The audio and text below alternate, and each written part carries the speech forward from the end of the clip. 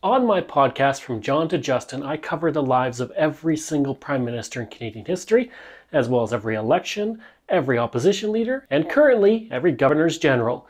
So I'm doing a series on TikTok where I rank every single Prime Minister from the worst to the best in Canadian history. And today we're on number 18, Sir John Abbott.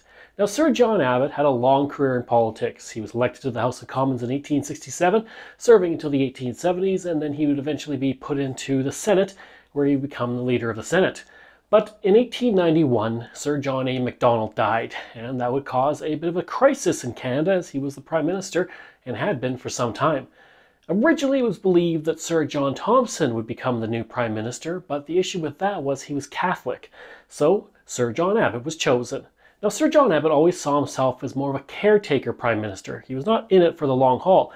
In fact, he tried to actually get Sir John Thompson to become the prime minister a year into his term, but that was again turned down because Thompson was Catholic.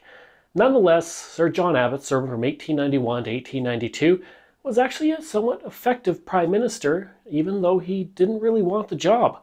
He was able to reorganize the party, reorganize the government a bit, put in some changes to the criminal code, in 52 by-elections in his last year in office, the majority were actually won by the Conservatives, raising their seat count by 13, which shows just how effective he was as the leader of the party.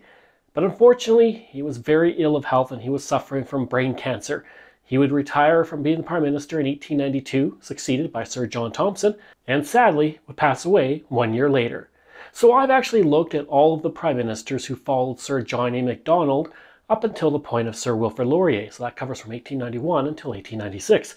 And all of them have been in the bottom. But Sir John Abbott, among all of them, was probably the best and the most capable. And that's why he ranks in at number 18. Now, I put him at 18, but my Twitter followers chose R.B. Bennett for the 18th Prime Minister. Now, I didn't choose RB Bennett, obviously. He's a bit higher for me. So we'll see where he stands as we go onwards to find out who was the best Prime Minister in Canadian history. And as always, if you have any questions, just ask. And if you have any comments, let me know and I'll respond.